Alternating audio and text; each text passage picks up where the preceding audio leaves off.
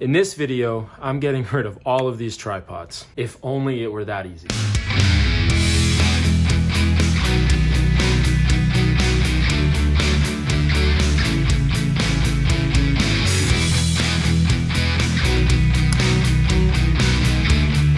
It's a pretty common occurrence that I come up to my studio to read, to write, to play guitar, or just perform general studio tasks. This is the space I rely on to facilitate my creative process. But since moving into this new space, it's not completely organized yet. In fact, it's still pretty distracting to work in here. One of the biggest distractors is the cluttered floor space. I literally have to navigate the Nasty Nick obstacle course just to get from the door to this seat, climbing over tripods, camera and lighting gear, a guitar case or two, and it's like three feet away. Something has to change. So let's get designing.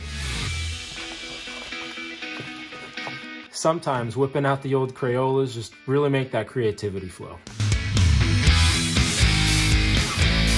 One of my favorite things about creating is pulling from different disciplines and mediums for inspiration. This is a home studio where largely musical things happen, but alongside of that comes video production and even woodworking or just general building tasks. So, as with most of my home studio projects, I need the system to be as versatile and multifunctional as possible.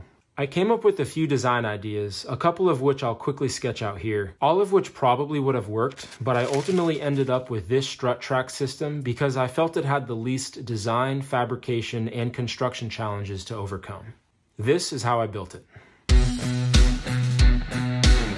Right, I'm gonna do a small scale mock-up in order to test the design and to show you the details of the construction. I've already done this a few times, made a few tweaks and a couple trips to the hardware store. By now, what you see here will be the final design that you'll see mounted to my ceiling.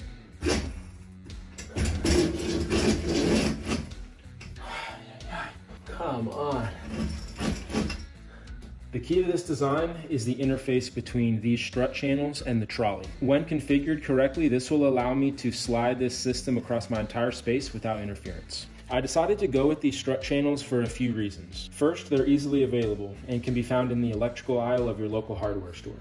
Second, they make all the accessories you need so that you don't have to fabricate anything to make this work. By the way, everything you see here can be found at your local hardware store with the exception of these two pieces, the trolley and the trolley hanging bracket, which can be found on Amazon, and I'll link them down in the description below. Lastly, it's scalable, meaning that the construction remains pretty much the same regardless of your room size, to a certain extent.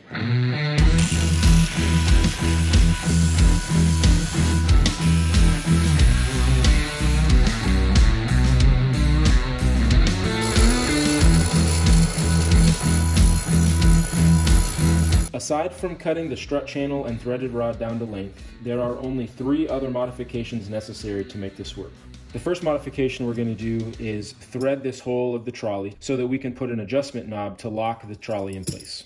This hole is 5 16ths of an inch, so I'm going to use an 18 TPI tap to thread this hole. The second modification we're going to do is to add these plastic fasteners into the ends of the wheel Please excuse this interruption from future me, but this modification is actually unnecessary. It created too tight a tolerance and kept binding as I slid these trolleys back and forth, so probably my favorite design innovation in this entire project has to go.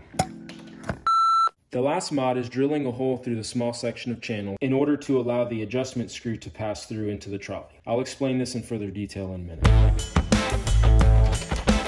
So construction begins by mounting a section of channel in the ceiling stud. I'm gonna do this with two lag bolts. From there, I'm gonna insert the spring nut and then my threaded rod. Cap that off with a square washer and a nut. Then I'm gonna insert the trolley hanging bracket and cap it off with the same square nut and washer. Now that the trolley bracket's in place, I'm gonna insert the main strut channel that the trolley will ride in. At this point, you may be asking why the trolley simply can't run in the strut attached to the ceiling, and that's because I have two obstructions on my ceiling. The first one is a light fixture in the center of the room, and secondly, I'm gonna be adding acoustic panels. So I had to place this gap so that this can slide freely across my entire space. Lastly, the main strut will be secured in place by this bolt. This completes the assembly of the track system. Now I'm going to focus on the assembly of the trolley.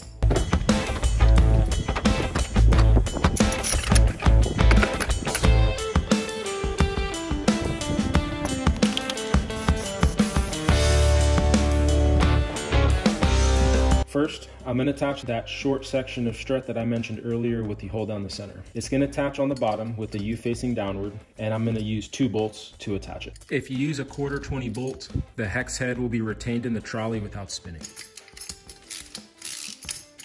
Next, I'm going to insert the strut pipe clamp into this channel and this is going to hold the one inch pipe going across the room. For this mock-up, I'm going to be using a short piece of dowel, but when I assemble it, this is going to be an eight foot long piece of metal pipe. All right, lastly, I'm gonna put the adjustment knob in through the bottom. Then, once installed, I'm gonna epoxy this wooden washer that I made to push against the top of the strut. This will lock it in place very securely.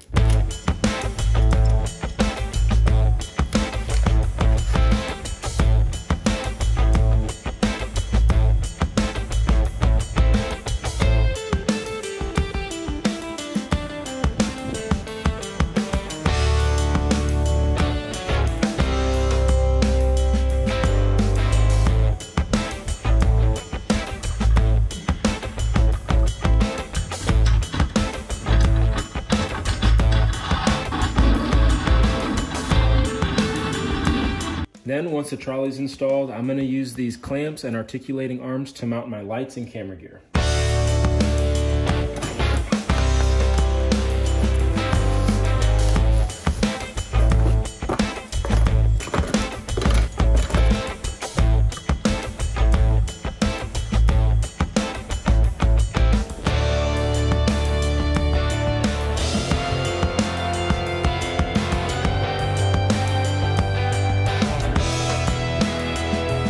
Excuse the mess. I'll admit this is a bit ad hoc, but it's gonna get me filming without a tripod. So I'm gonna hang it from this clamp and articulating arm, but I need to adapt this quarter 20 mount to a 3 8 mount. So I'm gonna screw this on. Then I'm gonna take a section of the 3 8 threaded rod that I used to mount the system up to the ceiling, and I'm gonna insert that into the adapter. The reason I need to adapt to a 3 8 is because this ball head only mounts to a 3 8 If you have one that mounts to a quarter 20, you could go straight into this, although I found that I'm gonna need this extra length. So you'll have to come up with your own configuration in order to get the shot that you want.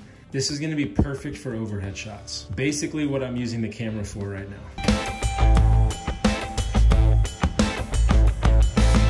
All three tripods gone. There are a couple bonus features that I'm really excited about this system. First, I can hang a gobo or a freestanding acoustic panel from the beams. These are typically on wheels and can be rolled around the space, but in this case, I have the flexibility to hang an acoustic blanket anywhere in the room to shape the sound. Secondly, I can easily mount room mics in my space without using any mic stands. This won't replace my desk mic boom or amp miking stand, but it will prevent me from having to set up a tall and bulky stand for this capability. I am super happy with how this project came out. From now on, recording videos are going to go a lot faster and I can finally come up here and focus. I am due for an amp project, so while I wait for some acoustic panel components to arrive, I think I'm going to build a head case for this amp, maybe even a speaker cabinet. So in the meantime, if you found value in this project, please hit that like button and stay tuned to follow this and other projects in my home studio. Thanks for watching.